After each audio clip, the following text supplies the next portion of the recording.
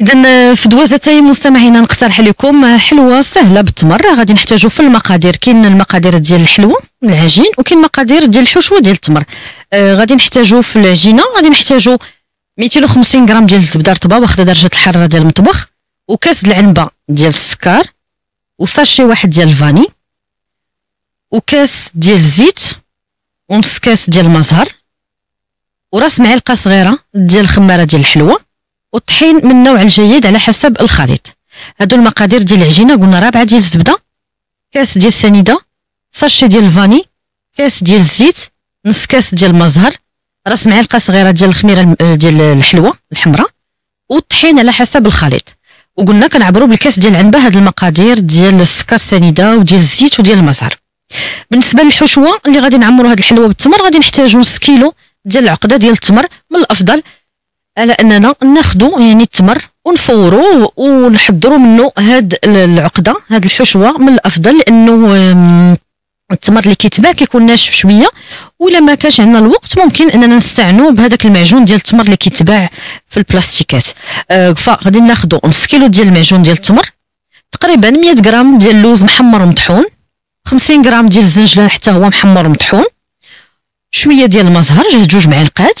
معلقة كبيرة ديال الزبدة باش كنرطبوا داك التمر وشوية ديال القرنفل مدقوق يعني القرنفل كيمشي مع المذاق ديال التمر كاين اللي ما تيبغيش كيدير غير التمر مع الزهر وكاين اللي كيديروا غير هو ما كنكثروش منه بزاف ما كيجيش الطيبة ديالو غالبة وإنما كنديروا غير واحد الحبات منه ونغربلوه مزيان وكنضيفوه على المقادير.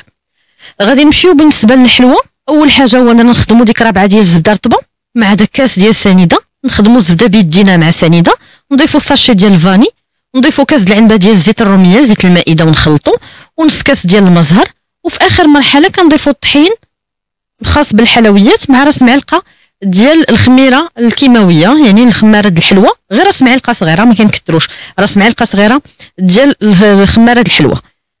كنخلطوا هاد المقادير مع بعضياتهم مزيان حتى كنحصلوا على عجينة اللي هي رطبة ومجموعة في نفس الوقت. فكيف قلت رابعة ديال الزبدة رطبة كنخدموها مزيان مع كاس ديال السنيده ملي كيتخدموا مزيان كنضيفوا ساشي ديال الفاني وكنخلطوا مزيان.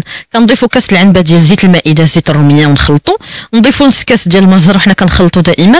ومن بعد نضيفوا راس معلقة صغيرة ديال خمارة الحلوة خمارة حمراء. وكنجمعوا بالطحين اللي غادي يكفانا.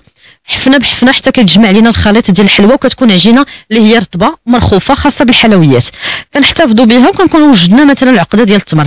بالنسبة للعقدة ديال التمر كيف ما قلنا إما ناخذوا المعجون ديال التمر العقدة ديال التمر تكون واجدة اللي كتباع وعاد كنضيفوا ليه هاد المقادير اولا كناخذوا التمر نحيدوا ليه العلف ديالو وكنفوروه ومن بعد كنطحنوه مع 100 غرام ديال اللوز ملي كيطحن مزيان ولا هو دغيا كيتمعك يعني ملي كيتفور راه ساهل اننا يعني كنمعكوه ولا كانت عنده ديك القشرة الغليظة كنحيدوها.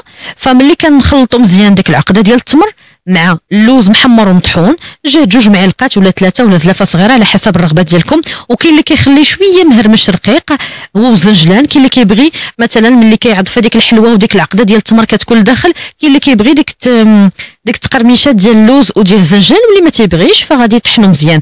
فقلنا العقدة ديال التمر نخلطوها مع شوية ديال اللوز محمر ومطحون مع شوية ديال الزنجلان حتى هو محمر ومطحون وكنخلطوا بيدينا.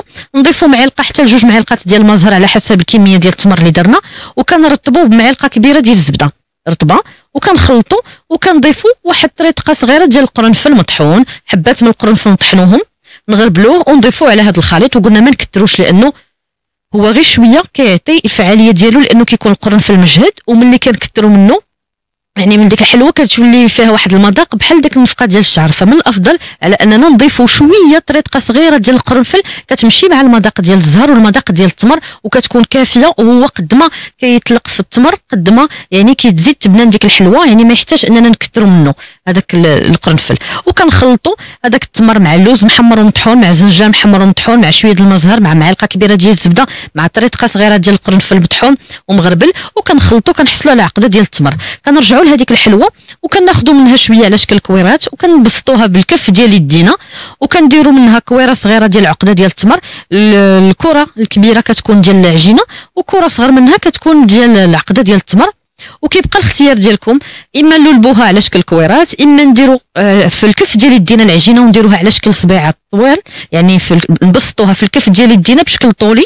ونبسطوها ونديروا كذلك العقدة ديال التمر حتى هي على شكل صبيعات وكنديروها في الوسط وكنلولبوها كتجينا على شكل صبيعات مثلا آه، بحال كتجينا قد التمرة مثلا قد التمره ولا كبر منها واحد شوية وكنزينوها إما بهذاك المنقاش اللي كنزينو به يعني الحلويات كنبقاو غادي اللي كيعرف يخدم به كيدير منه شكيلات هكا لأنه هو ساهل غير ما كندخلوش في العجينة وفي نفس الوقت يعني كيعطينا واحد الرسومات اللي ما عندوش ذاك المنقاش وما تعرفش يخدم به راه ممكن أنه مباشرة إما يدير ذاك العجينه مع العقده ديال التمر يديرها في الوسط.